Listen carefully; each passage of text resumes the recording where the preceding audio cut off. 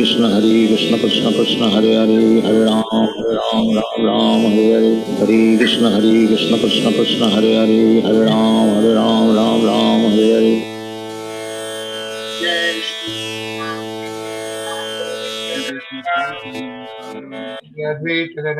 शिव श्री जय श्री कृष्णा चैतन्य प्रभु नित्यानंद श्री अद्वैत गदाधर शिव श्री गौर भक्त वृंदा जय श्री कृष्णा चैतन्य प्रभु नित्यानंद श्री अद्वैत गदाधर शिव श्री गौर भक्त वृंदा हरि श्री राधे गुरु भगवान की जय Krishna So, yes, we begin with three and four.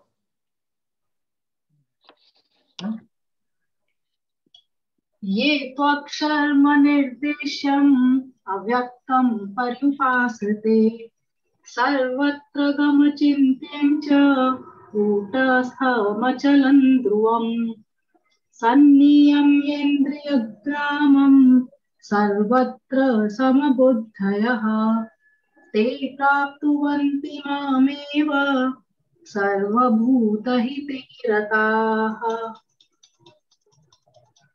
But those who fully worship the unmanifested, that which lies beyond the perception of the senses, the all pervading, inconceivable, unchanging, fixed, and immovable, the impersonal conception of the absolute truth by controlling the various senses and being equally disposed to everyone, such persons engaged in the welfare of all at last achieve me. Okay. Those, okay.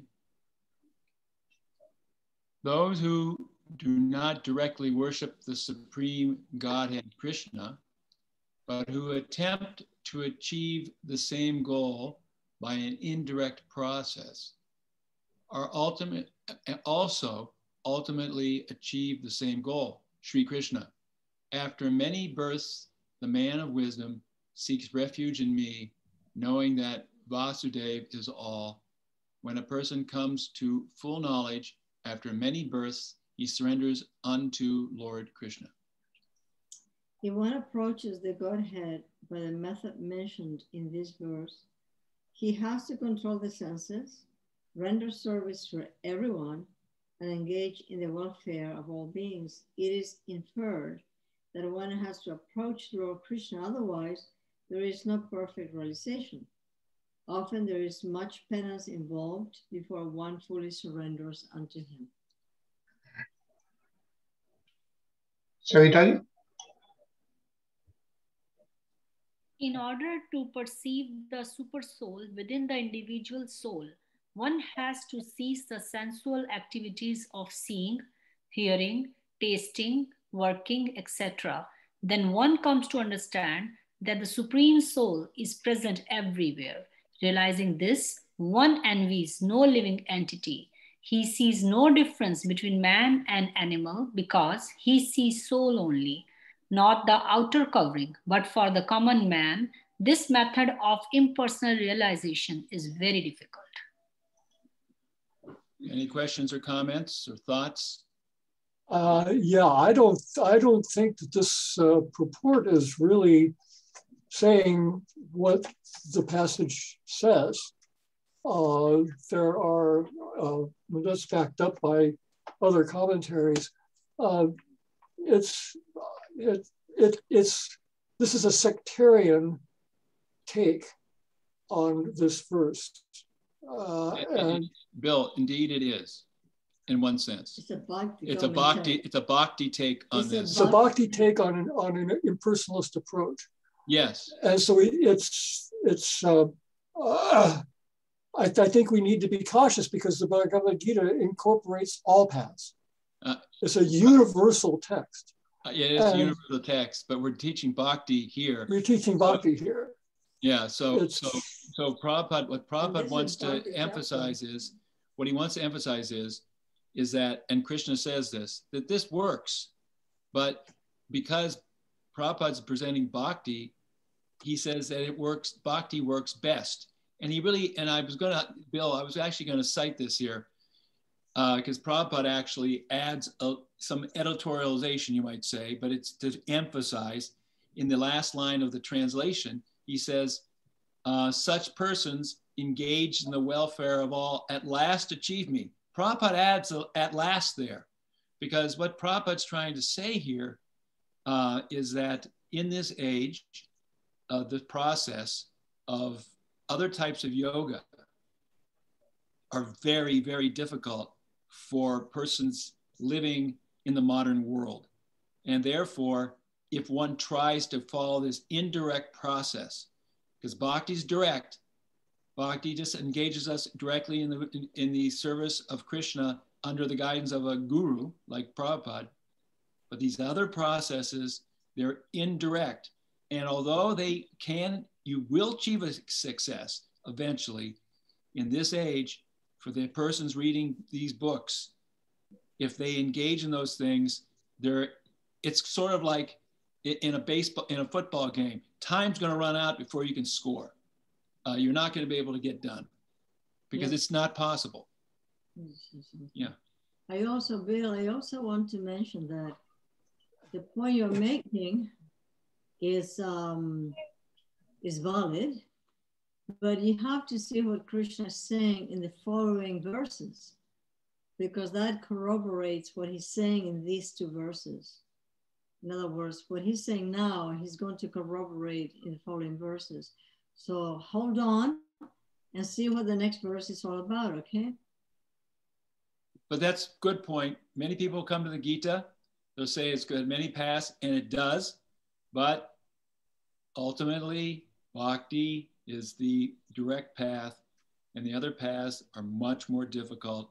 And as we heard before, they might even lead us to an imperfect conclusion of impersonal realization, which is not as uh, safe or as satisfying as the relationship with the Supreme Lord. But that's a great point. Good way to start off. Um, anybody else have any other questions or comments? It's like bhakti is an elevator and, and uh, other process, other yogas are like taking the steps. That's Prabhupada's famous example. Why take the steps when you can have the elevator? You know, it's, it's an interesting point because in many places in the Gita, um, Krishna throws out these ideas to Arjuna, and Arjuna, like in the sixth chapter, he says, you know, this yoga, it's just not for me. I can't do it. It's too uh, difficult. And then Krishna over and over again says, simply hear about me, understand me, follow my instructions, and worship me. And by that surrender to me, you'll um, you'll you'll come to me. Yes. Oh, and that's a good point that uh, Gajendra is putting down here at the bottom here. Sees no difference. Um, Vidyavanaya sampane brahmani gavi hastani suni chaiva supake cha pandita samadarshana. I can't remember what it is. I think it's fifth chapter, 22nd verse. Can't remember. Um, that the learned and gentle sage sees with equal vision um, the elephant, the dog, the dog, uh, the dog, the brahmana. the brahmana, and the outcast so, um, you know, the, the person who is on a platform of complete understanding, realizing um, Krishna, he sees no difference between man and animal because he sees a soul only, not the outer covering. One of Prabhupada's most important instructions.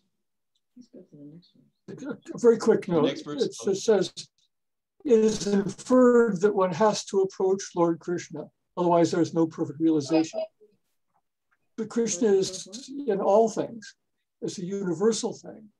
And so uh, it's, anyway, that, that, that sort of sums up my problem with this purport is that he's, he's saying that something is inferred because that's his idea of realization is, is strictly in one thing, is relationship with God. Yeah, you know, Bill. You know, one time Prabhupada had a had a conversation with um with um a Hindu a professor of South Asian religions, and uh, and the professor said, when I read your translations, I see Krishna everywhere, everywhere, everywhere. And Prabhupada said, yes, that's the point. so you know, Prabhupada is giving us Krishna, and you know the the if you if we have been, if we were studying um, a Gita given by some other person in another path, there would be a different emphasis. But Prabhupada is teaching us Krishna Bhakti, and Krishna himself, ultimately, as we'll see in the next verse, emphasizes the fact that Krishna Bhakti is going to be the best path. So we go to the next verse. Next verse got a very long purport. क्लेशोऽधिकतरस्तेषाम् अव्यक्ता सक्तचेतसाम् अव्यक्ता हि गतिर्दुःखम् देहवद्धिरवाप्यते for those whose minds are attached to the unmanifested, impersonal feature of the Supreme, advancement is very troublesome. To make progress in that discipline is always difficult for those who are embodied.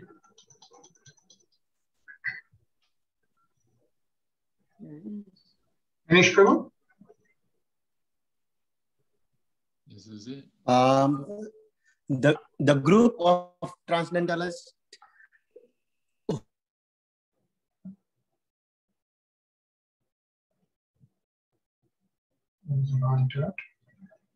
Gnan yogis and the and person who are in full Krishna consciousness engaged in devotional services to the Lord are called bhakti yogis. Now, here the difference between Gnan yoga and bhakti yoga is definitely expressed.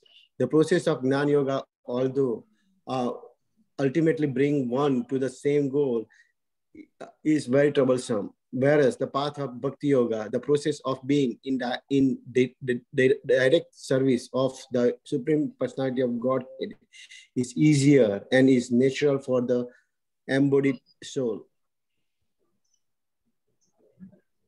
Sonali? The individual soul is embodied since time immemorial. It is very difficult for him to supply theoretically understand that he is not the body. Therefore, the Bhakti Yogi accepts the deity of Krishna as worshipable because there is some bodily conception fixed in the mind which can thus be applied. Of course, worship of the Supreme Personality of Godhead in his form within the temple is not idol worship. There is evidence in the Vedic literature that worship may be sagun or nirgun, of the Supreme possessing or not possessing attributes. Worship of the deity in the temple is sagun worship and the Lord is represented by material qualities. Deva?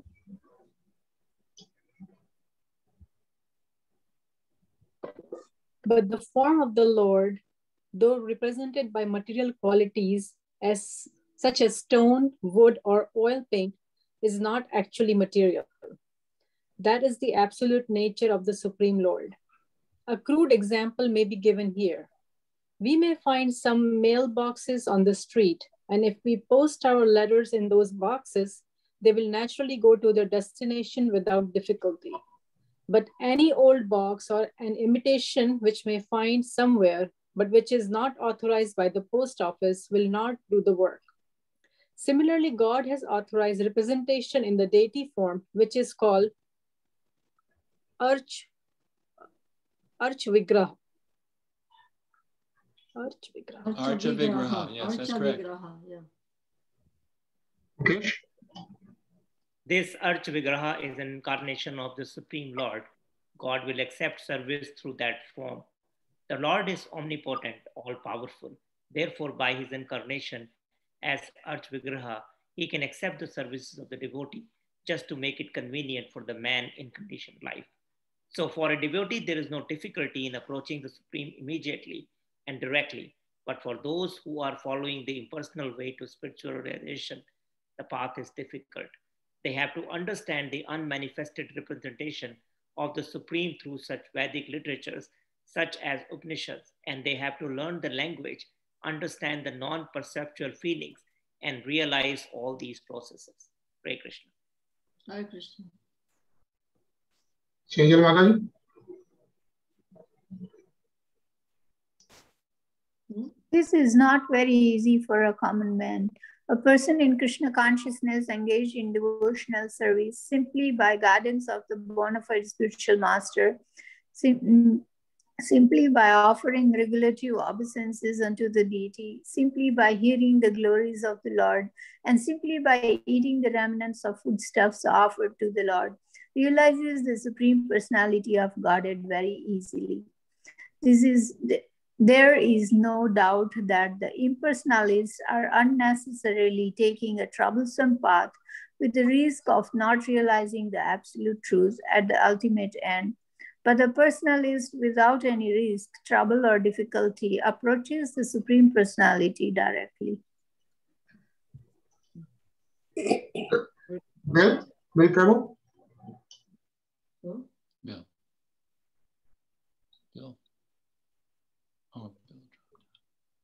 Um, Bill? Bill? Oh, oh yes. Um, a similar passage appears in Srimad Bhagavatam. It's stated that if one ultimately has to surrender under the Supreme Personality of Godhead, the surrendering process is called bhakti, but instead takes the trouble to understand what is Brahman and what is not Brahman, and spends his whole life in that way, the result is simply troublesome. Therefore, it's advised here that one should not take up this troublesome path of self-realization because there is uncertainty in the ultimate result.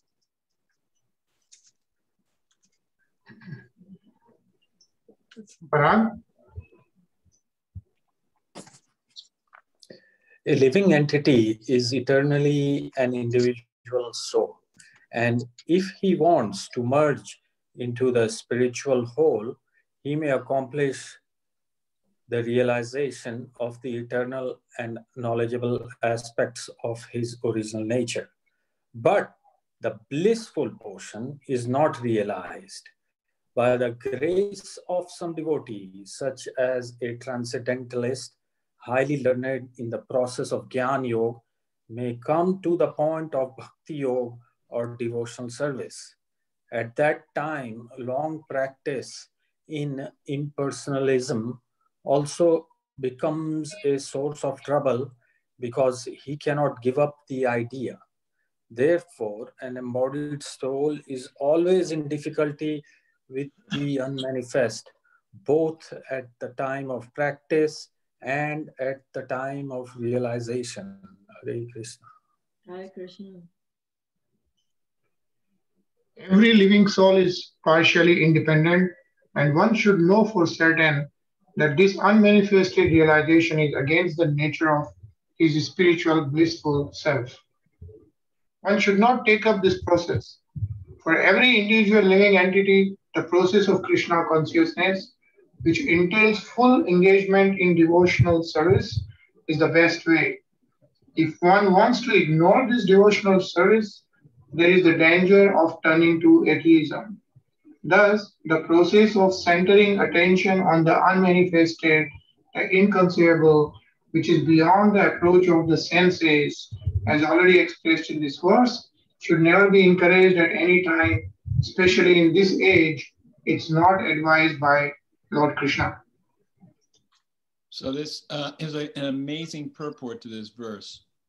And um, if we can go back to the first paragraph, and we'll just do, Let's read the verse. we'll read the verse again.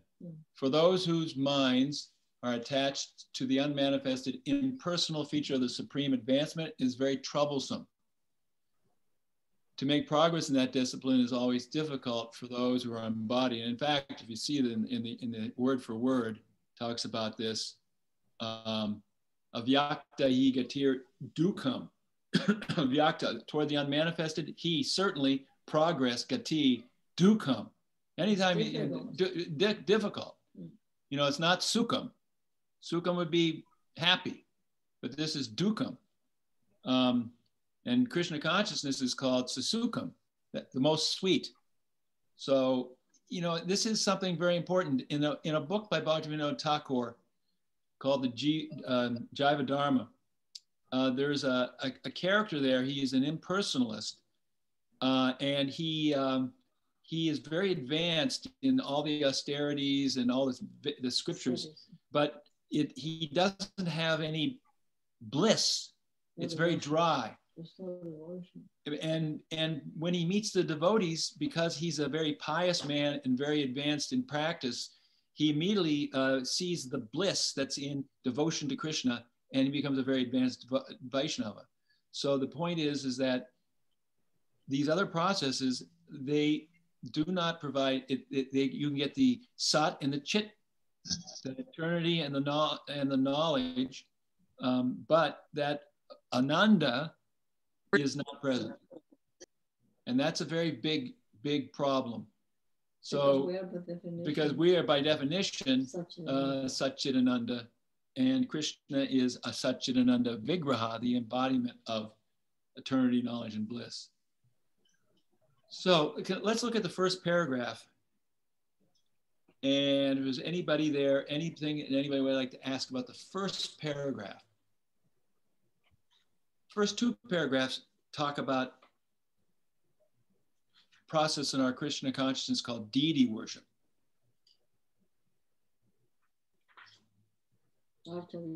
Yeah, the Archa Vigraha. The Archa Vigraha is the, is the name of the, that's what the deity is called, the incarnation.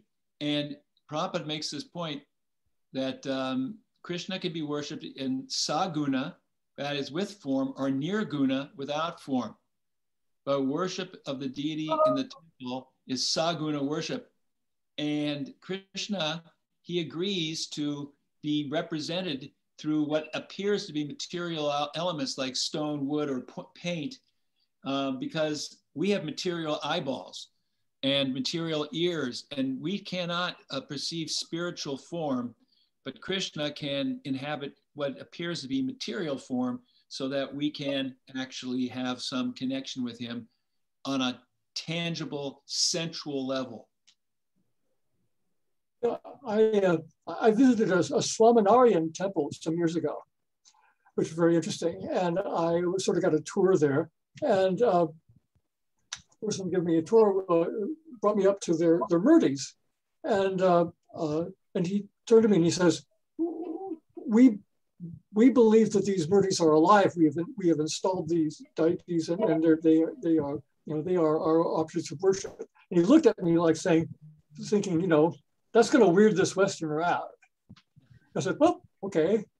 I, didn't, I didn't bother about that. But that is probably this one of the, the things that in the West is the hardest yes aspect. Not so much, uh, not so much for the Roman Catholics, because in the Roman Catholic Church there are all kinds of images, and people worship and venerate those those images. You know. There's but a little for bit. The, for the Christians in general, except the Roman Catholics, is very difficult. The Muslims, they, there's not absolutely no conception of any form. It's because uh, when you install the deities, you know, that's when you are doing this whole pran pratishta job, right? So you're putting in, you're putting in the pran, the soul, uh, in the deities, and that's why, uh, you know, it's felt that they are alive, right? And well, we are we are actually putting the pran in. We're saying asking Krishna to put his pran in. Yes, but uh, yeah, by our, our yeah, yeah, our prayers call him. Um, and what Prabhupada has is a wonderful example here that he used so many times about the post office box. You know that the postal service, um, well, you know, to make it even more direct, the post office is the is the spiritual world of the uh, of the postal service. It's the it's the Vaikuntha. Uh, it is uh, it is the place where if you go there, your letters reach home, uh, whatever that means. You know, go to wherever they're supposed to go.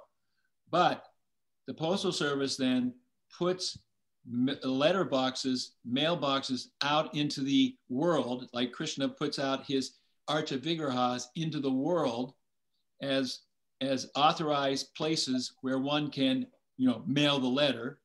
But if one concocts, uh, you know, the uh, uh, said, well, you know, if the post office has uh, this post office box is, two blocks away, I think I'll put one, I'll paint it the same and put it in my backyard.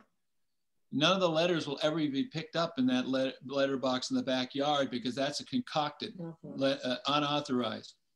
So, you know, a lot of times the Christians or the, the Jews and the people read the Bible, they go back to um, the story of the Israelites wandering in the desert. And when Moses was on the mountain getting the Ten Commandments, his brother uh, was uh, leading uh, a group of, of uh, the followers, actually, it was just about everybody. Uh, they melted down gold and they cast an, a golden calf as, as uh, their idol. Well, you know, there's, God did not say that he appeared as a golden calf to anybody. Um, and therefore that's an incorrect uh, activity. And then when Moses came down, he became so angry, he you know smashed the, uh, the, the Ten Commandments to the ground, and he was very disturbed.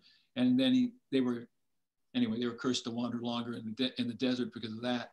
But the point being is that these unauthorized attempts, imaginative attempts of who God is, that's not what the deities are. These are authorized and they're described in the Shastra. Ravi, one point.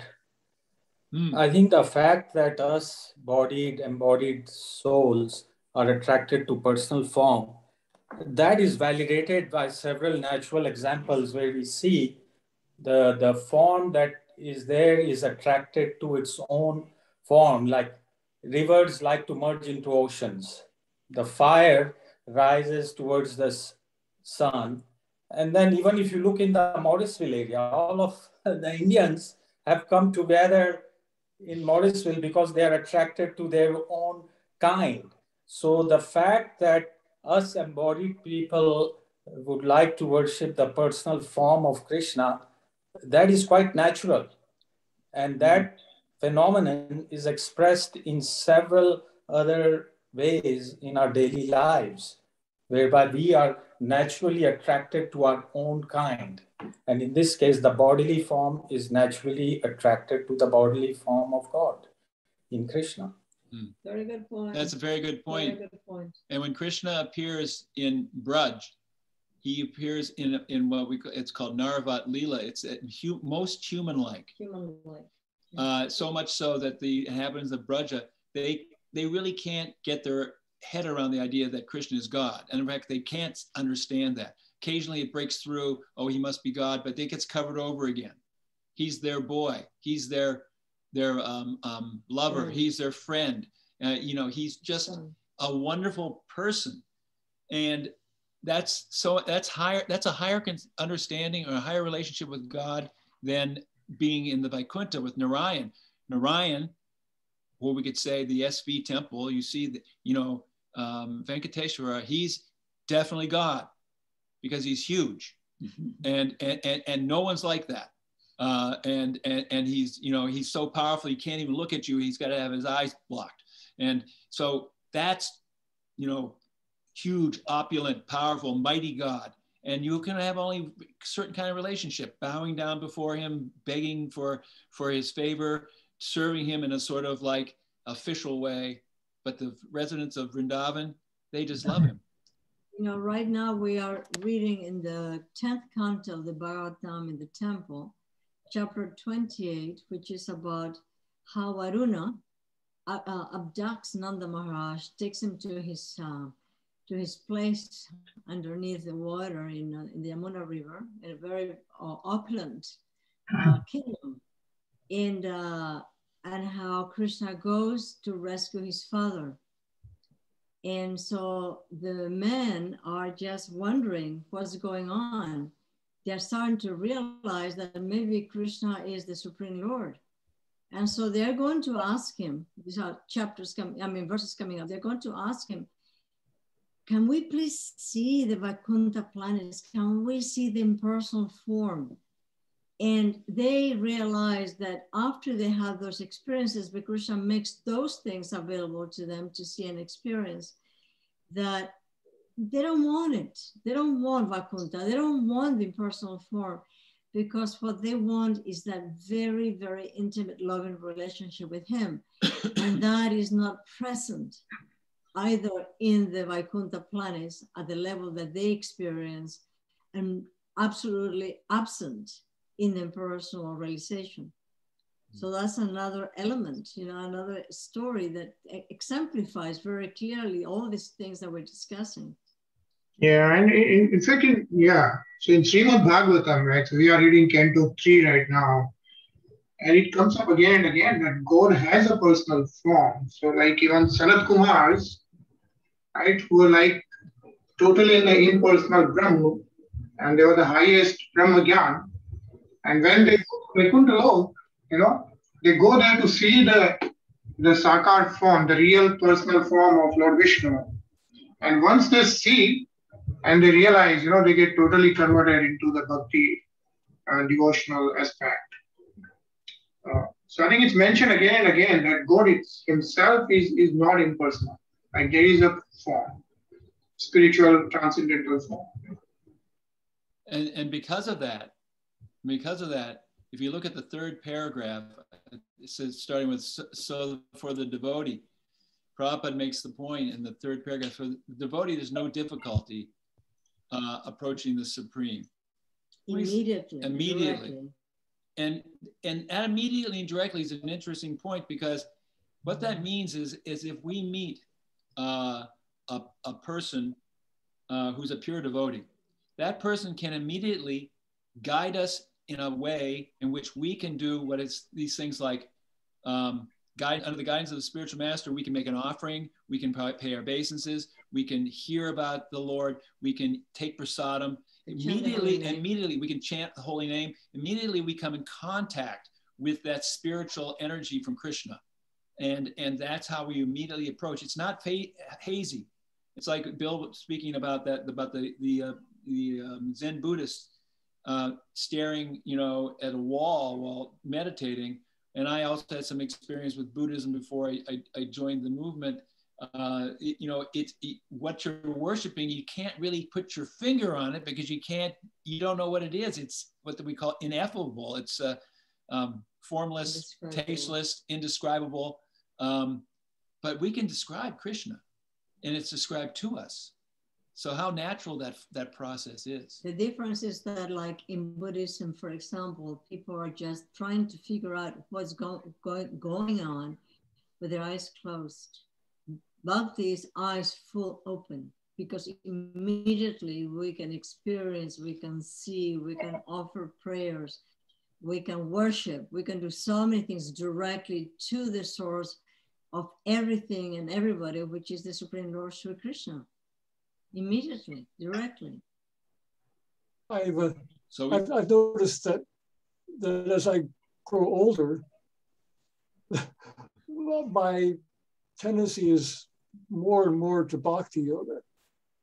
That, because my mind is soft. I don't I don't have, have, all these facilities anymore. For the very young and the very old, you know, it, you, you got to do what you can do, and, and this and this is really the you know the most comforting, the most uh, most harmonious uh, uh, path. So for all the all the fuss I I kick up, I mean I, this this is well, you know, bhakti is totally egalitarian. In other words, you can be a great scholar and bhakti is wonderful, and you can be a little kid and you don't know much and bhakti is wonderful. And you can be an average person who's not a scholar and bhakti is wonderful. It's for everybody. It's not that you have to be super austere or super smart or have this kind of uh, you know uh, ability to uh, to to you know speculate or meditate on some sort of you know in a ro- ring of fire or some other. Right. It's natural. We can all do it at whenever wherever we are. It, it's a hoitiki pratiyata. It, it's uninterrupted. It's unmotivated and uninterrupted.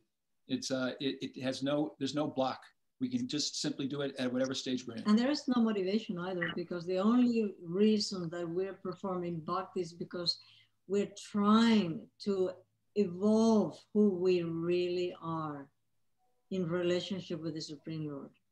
And that's like the word natural has come up several times, like uh, my, my husband just mentioned natural, And also Parag Prabhu also mentioned natural, and it feels natural, and it's natural. And so it's easy to adopt this method. It's just that we may have very little faith. But if we have a little bit of faith, we'll realize that that's the way to do it. That's that's easy and natural and pleasant, and uh, it feels just right. It's like we're discovering who we are, and we're doing that which defines who we are. Let me ask a question. I'll, I'll bring something up here. Both Srila Prabhupada and Bhakti Bhaktivinoda Thakur made the point that actually a Christian is better situated um, transcendentally than an impersonalist, Mayavadi. Um, why would that be so? Why is a Christian? I mean, according to Bhakti Bhaktivinoda Thakur especially, Christianity is much preferred over um, over any kind of Indian, you know, uh, uh, uh, impersonalism. So, Prabhuji, one thing that uh, I'm thinking about as we are discussing is that a point you made a few minutes earlier for the Sachidanand, right? So the Anand part of it, which is the bliss side of it, right? Yes. Um, and what I'm, you know, getting in this is that between the two forms of, uh, you know, uh, processes, it seems that the Bhakti Yoga has bliss that is missing in other areas. So um, one thing that I can think is that between Christians and the Mayavadis, it's probably that factor that counts into it, where you have some blissfulness in the Christianity, while in Mayavadis, you may not have that. And that may be one of the reasons why um, that comment was made. But that's, that's true. The Christians may have this, you know, they do kirtan of their own type and they glorify God. And, you know, if you read in the Bible, many places says, oh, Jesus says, you know, our Father out in heaven, hallowed be thy name. I mean, he's talking about we, you know, chant the, name. chant the name of God. Oh. Um, yes, that's a good point. Probably, I, I would. Maybe yeah, because feuds, are, feuds are between neighbors. well, there is a deeper philosophical point, even though that's true too. Feuds are between neighbors. But Parag. The, uh, I was going to say the fact that Christians may be better positioned than the impersonalist is related to this verse because they are worshipping a personal form of uh, supreme, uh, I mean, of uh, guru, if you will, in, in Jesus, yes. with the cross and with uh, the image of Jesus, statue of Jesus on that. So, in that sense, they are aligned more towards the personal form of worship, which will lead to more attachment and better purification Absolutely. That's Absolutely. That's that's really the that's answer. The answer yes. I'll guarantee you, you go into any church, anywhere, any Christian church, and you say, I am God, they're going to say, What are you talking about? because God is God. Now, they don't know who He is really. He's unknown. He's sort of like behind the curtain. But the idea that you or me can become God to a Christian, it's just uh, completely uh, uh, uh, it's apostasy. It's like it's it's it's totally wrong. And also the Christian faith, the Jesus, who is the one who is uh, at the front of everything, all the doctrine, is always talking about I have to perform the will of my Father. I am subordinate to the Father. So when we talk to Christians and we explain that Krishna is the Father so they are not aware of who he is. They know there is a father. They know that he's the one running the whole show. That, Christ, that Jesus is his son and subordinate and servant. But that's the way they do it. It's a personal form. And so we explain who is the father? The father is Krishna.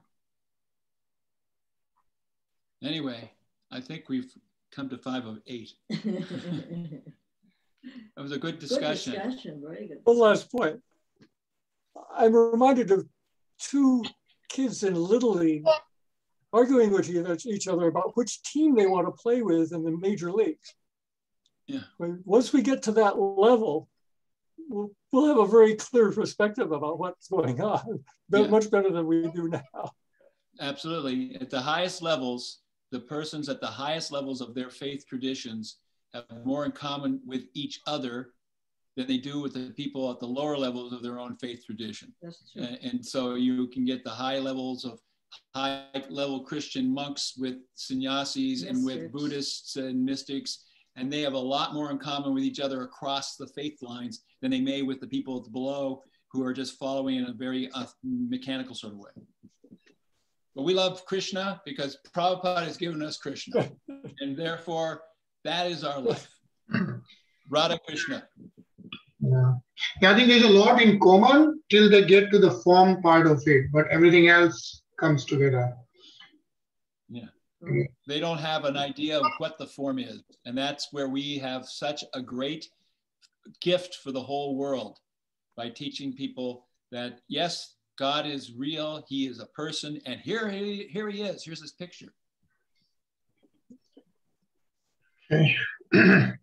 Sometimes, sometimes the Christians depict God as a very old man with a white beard who is kind of semi-crippled. And they don't realize that the Supreme Lord is a young man, absolutely wonderful and beautiful, full of energy and power and sweetness, and uh, the source of our of our existence. They have no idea. They just at best that old man with a beard, maybe with uh, some loose teeth and uh, arthritis, you know.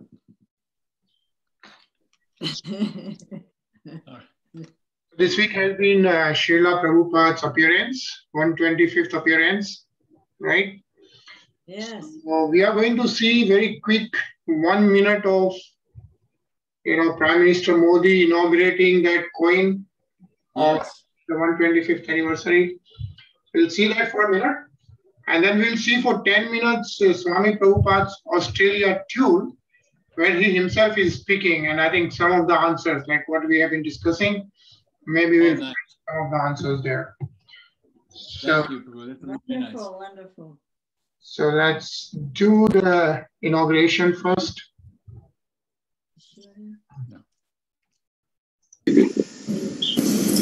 धन्यवाद आदरणीय गोस्वामी महाराज जी और मैं माननीय प्रधानमंत्री जी से विनयपूर्ण आग्रह करती हूँ कि कृपया रिमोट का बटन दबाकर भक्ति वेदांत स्वामी प्रभुपाद की 125वीं जयंती के अवसर पर 125 रुपए का स्मारक सिक्का जारी करें।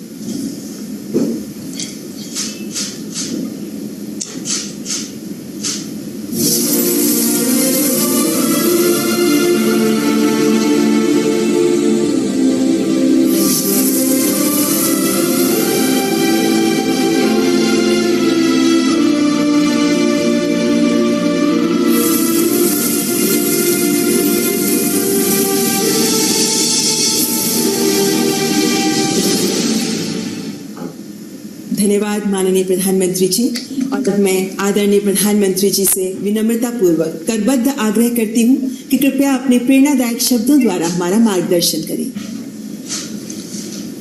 हरे कृष्णा आज के इस पुण्य अवसर पर हमारे साथ जुड़ रहे right. So that was the inauguration. संस्कृति मंत्री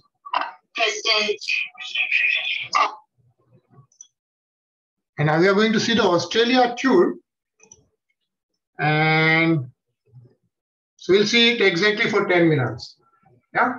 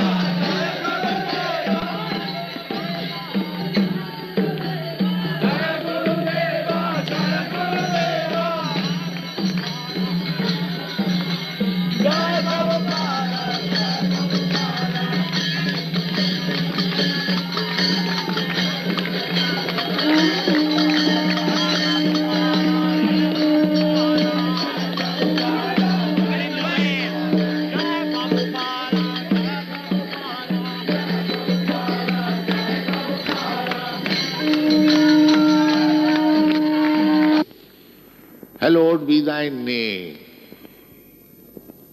My Lord, Krishna, the personality of Godhead, let your holy name be glorified. This is our moment. Uh, it is not a sectarian, it is very scientific movement. Scientific movement because at the present moment we are all godless, forgotten what is God and what to speak of His name. They do not believe in God and what to speak of His name, fame, His place, His activities, His form, His quality. How we can know? There is no educational system uh, about the science of God. This movement, Krishna consciousness movement, is teaching the science of God. God is absolute.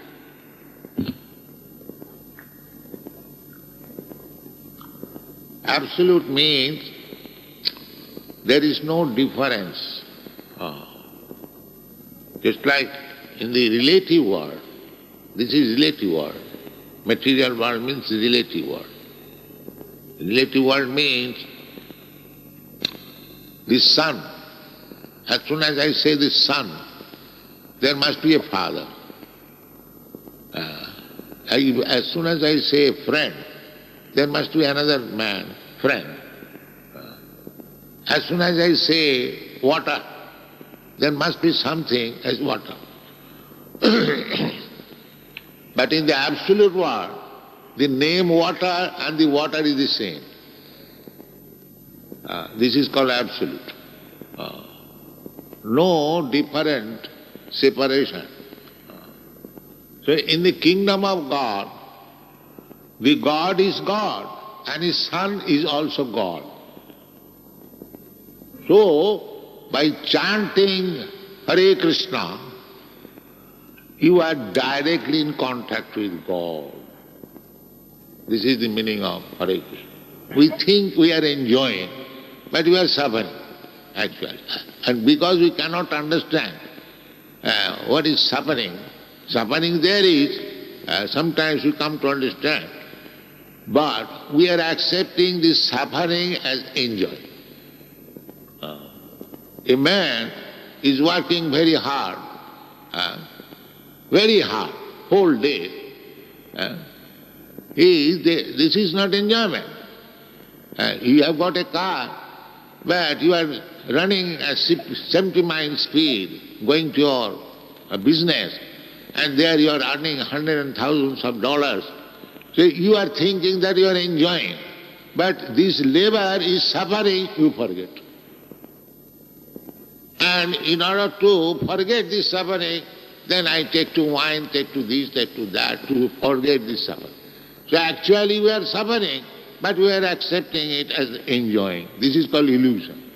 Anyone who is very much sensuous, very much attached to sense gratification, they are called demo. And those persons who do not indulge in sense gratification, but utilize this body or this life for uh, God realization, Krishna realization, they are called gods. Uh, there are two classes of men, demon and God. Those who are engaged in God consciousness, they are not God but godly. And those who are not, because this human life is meant for this purpose, uh, forgetting our Father, forgetting our God, God.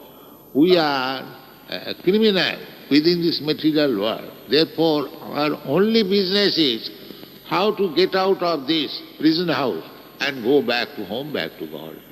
God is like you and me, a person. But He is Pacific Ocean, we are dropped. question was, in Bhagavatam, which is a scripture that we study, it says that Krishna did not want us to come to this material world. The question is, if Krishna did not want us to come, why are we here? Yes, He forced Krishna to allow you to come. Just like sometimes a child forces the father. Father says, my dear son, do not do this, do not go. But he insists, well, I must, I must. All right, you go at your risk. That's all. And you suffer. What can be done? Because you are God, because you are son of God, uh, God has got independence, full independence, almighty. Therefore, you have acquired the quality of your father. You have got little independence. The God does not interfere with your little independence. Beginning from Lord Brahma down to the worms in the stool, gradually, according to your work, according to your desire, you manufacture your different types of body and enjoy and suffer. That's all.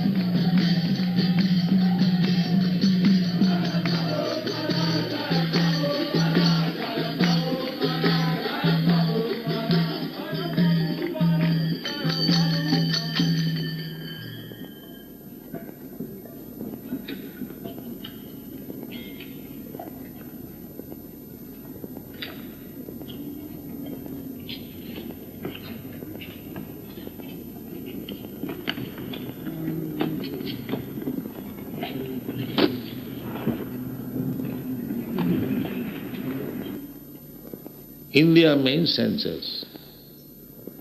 We cannot understand what is Krishna or God, his name, his form, his attributes, his pastimes. We cannot understand by these blunt material senses. Uh, then how it is to be understood? After all, this human life is meant for understanding God. That is the only business of human life. Uh, the nature, material nature gives us this opportunity to uh, have this human form of life, the uh, facility of this life, or this form of life is given to us just to understand God. Other forms of life, cats and dogs, trees, and so many other things. There are eight million four hundred thousand forms of life. So in other forms of life, it is not possible to understand what is God. Uh, if we call all the dogs of the your country, uh, come here, we shall talk about God. No, no, there is no possibility of understanding. But in the human form of life, there is possibility. Doesn't matter whether it is in India or America or Australia, any human being, uh, if he tries and if he uh, reads the scriptures, never mind Bible, Bhagavad Gita, Bhagavad, then he will understand God.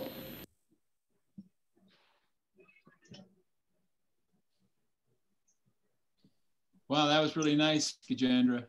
So this is direct. So this was uh, recorded uh, like during his trip to Australia. So that was really nice to see. It's half an hour. Uh, it's a half an hour session actually. If you want, I'll send the link. Send the link, yeah. It's really nice. yeah. 1974, I think. So. There are a lot of a lot of good questions afterwards as well. Yeah. Yeah. He was speaking to a bunch of uh, of Christian uh, monks in the in that last cut there. Right, right, right. Actually, I also hear, yeah, there's some questions asked about that too. Yeah. And you get pretty good answers. Yeah. Actually, so this is one- perfect. You know? Yeah, it will be nice to see this, uh, you know, for 126 years of appearance. S- Send us the Please link. send the Send everybody the link. Yes, Everybody will be so happy. That'd be great. So uh, hope everybody has a nice Labor Day weekend. There's a uh, um, if you get if you're on the temple uh, WhatsApp, there is a picnic at Falls Lake tomorrow at 4:30, 4:30 to 7:30, um, and I can actually forward it to uh, to, to the uh, Radha Govind link also, and uh, it I think everybody's invited, so you're welcome to come. Veer Krishna Maharaj will be there playing his guitar. He, uh, Krishna Maharaj will be there between five and six. Five and six. Yeah. Okay.